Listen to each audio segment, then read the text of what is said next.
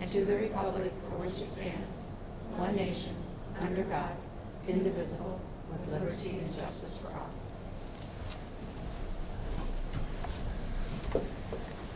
Okay, this evening, um, we're going to begin with the annual Truth and Budgeting hearing for the 2019-20 school year, um, for fiscal year 2019 to 20. Tonight's meeting will begin with a public hearing. This is the time where the board will receive public comment on the proposed budget for 2019-2020. East China School District cannot adopt its proposed budget until after a public hearing. Copies of the proposed budget, including the proposed property tax millage rate, has been available for public inspection within the administrative offices and on the district's website under the transparency section. At this time, the board will receive public comments. Are there any public comments related to the proposed budget?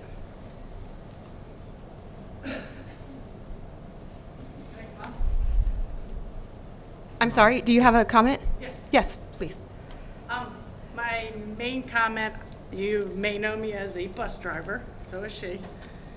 Uh, back in 2014, I know Jeannie and Amy, um, did great research about how, how privatizing never really saves you money. Might save you pennies in the beginning, but it never saves you anything in the long haul. And you end up with, I hate to say it, a real poor pool of people left to drive because I, I'm sure you all are aware that we got one application last year.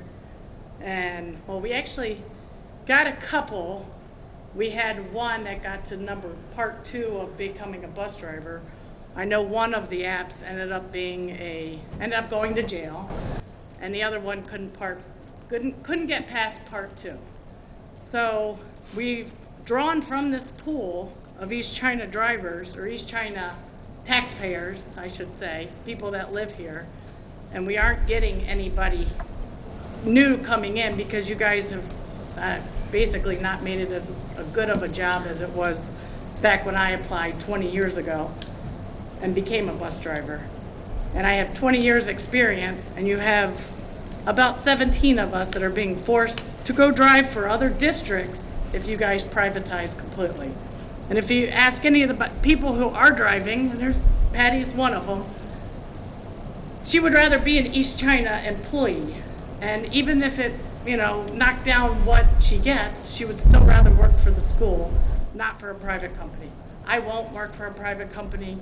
If you make that poor decision that Amy and Jeannie both had, have done research back in 2014, it's a really bad idea. And I hope you look at all of the numbers, not just what you would save initially. And the other thing is, is fuel. I don't think a private company legally can use our fuel discount, being a, you know, a public school. And there's, there's so many other elements to it. I mean, we're a public school, we're not a private company. But I, I could go on a million tangents because I hate privatizing. If you're public, you stay public hundred percent. You look at Richmond, they lost all their drivers three years ago. They said, oh, we messed up, and they came back and they became a public, you know, a public employees because they couldn't keep drivers. Every driver we train at East China's, you know, bill, they're all, they all end up going to New Haven, Richmond, Anchor Bay, Romeo. And I mean, we're wasting our money by training good people from our district that care and love our kids. And I just think uh, privatizing, you're ruining our community. Completely ruining it, and I have to walk out, and I have, when my kids ask me in June, aren't you gonna miss me this summer? I said it might be a lot longer than that, and I won't lie to them, because I'm not a liar. So anyway, I hope you consider it. It's a I just want to say that I don't like the idea of outsourcing the taxpayers' money to private companies that do not contribute back into our community. I'm nervous. Thank you. Are there any other public comments? Okay, let the record reflect that the comments were presented. And then at this time, we will close the public hearing and proceed to the regular board meeting. So the next item on the agenda is items of interest, recognition, and inquiry. Um, Board of Education members? Anybody have anything? Karen? I'd just like to thank everyone who was involved in the three graduation ceremonies. They were amazing. Um, and especially to the custodians at Marine City because they had to set up and then they had to take it down real quick for their all-night party. So, um, you know, the custodians, the secretaries who helped put it on and all the principals and everyone, it was just a lovely day. Agreed. Anybody else?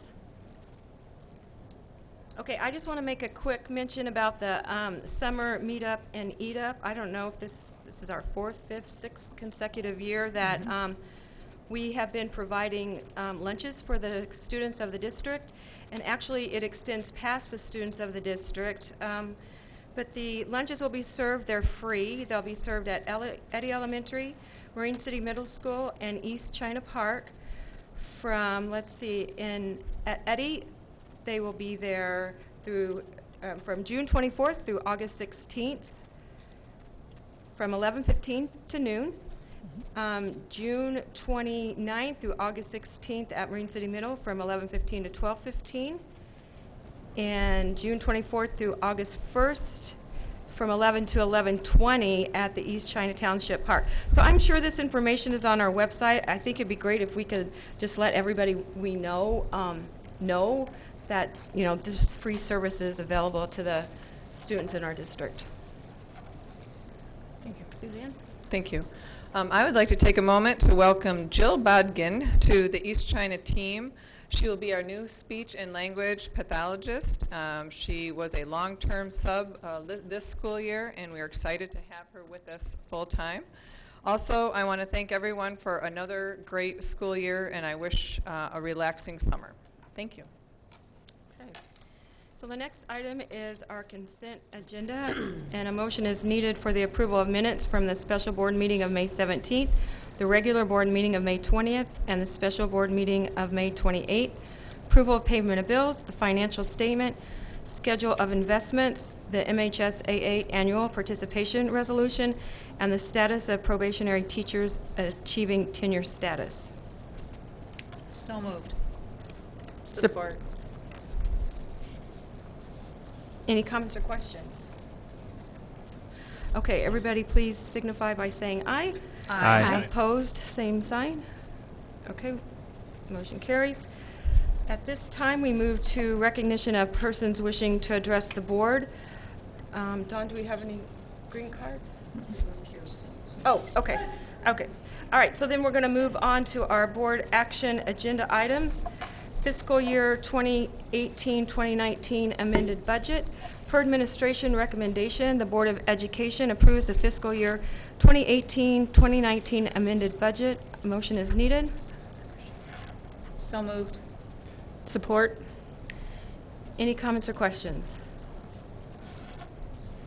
Okay, all in favor, please signify by saying aye. Aye. Opposed, same sign. Okay, Motion carries. The next item is the General Appropriations Act Resolution for fiscal year 2019 to to 2020. Per administration recommendation, the Board of Education approves the General Appropriations Act Resolution as read for fiscal year 2019 to 20. Motion is needed. So moved. Support. Any comments or questions? No. Okay, all in favor signify by saying aye. Aye. Aye. Opposed, same sign. Okay, that motion carries. The next item is the 2019 millage levies resolution. Per administration recommendation, the Board of Education approves the resolution certifying the 2019 millage levies. Certification of the 2019 tax rate. Be it resolved that the following be the tax rates for the 2019 tax rolls for the East China School District, St. Clair County, for the operation of the school and debt service. Non-homestead operation was 18 mills. Sinking fund was .3992 mills. Debt retirement, 1.68 mills. A motion is needed. So moved. Support. Any comments or questions? All in favor, please signify by saying aye. Aye. Opposed, same sign. Okay, that motion carries. So D, Superintendent of Schools contract. Uh, At this time, I'm going to turn this over to our committee chair, Mr. Disselrath. All right, so uh, part of our responsibility as a school board is to annually uh, review the performance of the superintendent.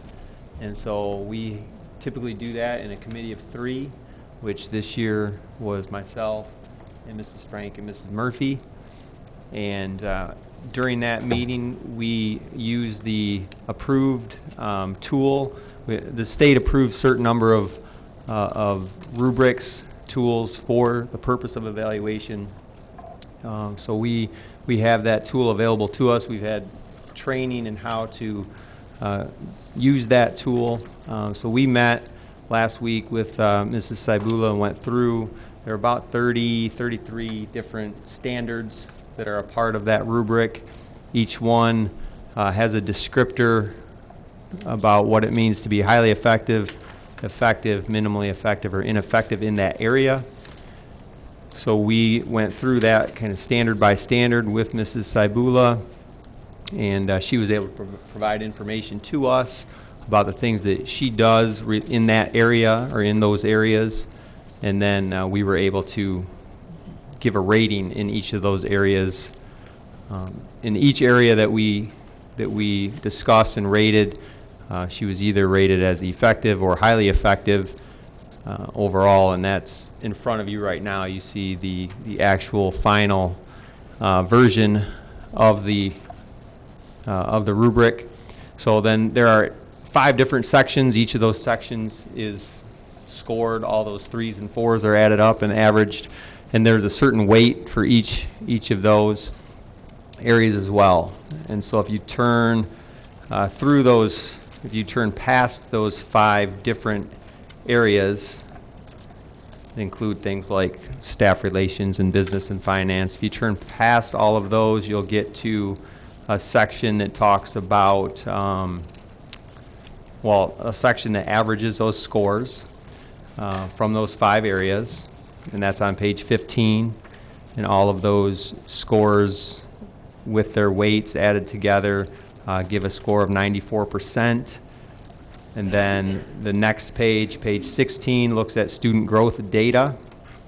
And Mrs. Sibula went through with us, and she pulled up uh, data from MI School Data that has uh, different index scores for all the schools in our district, and she went through that information with us and what each of those scores means and represents. And based on that information, uh, we were able to make a determination about student growth. And then the final section, uh, also included in that data section, is progress towards district goals.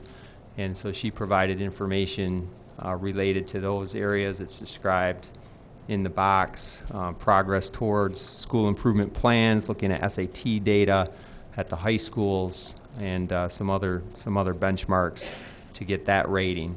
So all of that is added up together on the last page, page 17, uh, to come to an overall total score of uh, 90%, which is in the, the highly effective range, and it's also the score that she, uh, the way that she was evaluated last year as well, same score. So, are there any, any questions about the, the rubric, the process?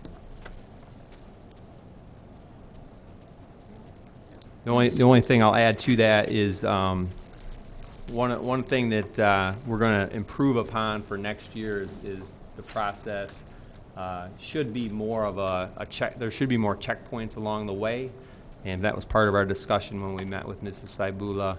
Um, and she presented to the three of us a, a plan for a, a calendar with checkpoints, and I know she'll share that with the rest of the board as well, uh, for next year. So that would start us right off in July with setting goals. For next For year's next evalu- year. evaluation. Yeah. Thanks to the committee for doing this. Yeah, a lot of work. Okay, so the Board of Education, the, excuse me, the recommended action is that the Board of Education approve the contract extension with Mrs. Suzanne Sibula as Superintendent of Schools for the 2019-20 school year through June 30th, 2022. Motion is needed. So moved. Support. Oh. Any additional comments or questions? I just want to clarify, because there are kind of two parts here, right? We have the, the the contract and the evaluation, which are kind of two, two things that are together, but, but separate as well. So we're voting on the contract today, but then we're, we'll vote on the evaluation next meeting, is that right? Or do we vote on both of those today? Um, Our, pol- our policy has been to review one meeting and vote the next, so we'll vote on the actual evaluation at the next. Okay. So then this is, um, this is a vote on the contract, Contract, yeah. extending the contract based on that. un- official evaluation. Correct. Okay. Any other comments or questions? Okay, all in favor, please signify by saying aye. Aye. Aye. Opposed, same sign. Okay, Thank you. thank you. Thank you, Suzanne. So that brings us to the administrator contracts. Um, The administration is recommending that the board approve annual extensions for the individual employee agreements for the listed administrators. Don Dimick, Lindsay Grange, Kirk Grizelka, Craig Headley, David Simpson, and Tina Thrift. Motion is needed. So moved? Support. Is there any comments or questions regarding these contracts? Okay, all in favor, please signify by saying aye. Aye. Opposed, same sign. Okay, so that carries.